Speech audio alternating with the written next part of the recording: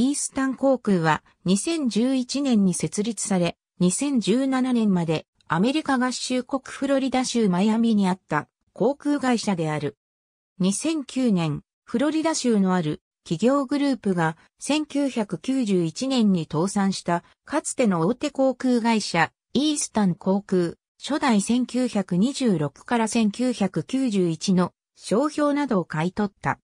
2012年にその企業グループによって2代目のイースタン航空を運営する新会社イースタンエアラインズグループが設立された。その後、2代目イースタン航空は2015年にチャーター航空会社として復活した。しかし、その後経営不振に陥った末2017年6月にスウィフト航空に買収された。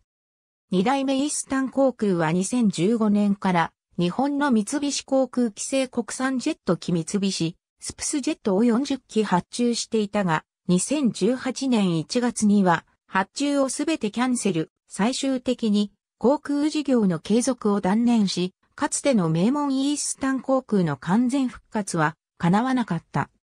その後2017年7月に経営破綻したダイナミック航空がスウィフト航空の出資を受け、スウィフト航空が持っていたイースタン航空の商標を使い、3代目のイースタン航空として再生を目指すことになった。2016年8月現在、イースタン航空が保有していた機材は以下の通りである。座席数列の C はビジネスクラス、Y はエコノミークラスを示す。イースタン航空のボーイング737から800イースタンエアラインズグループはボーイング737から800を10機発注し、ボーイング 737MAX8 を10機追加購入することで合意した。2014年7月には MRJ90 を20機発注し、20機を追加購入することで合意したと発表した。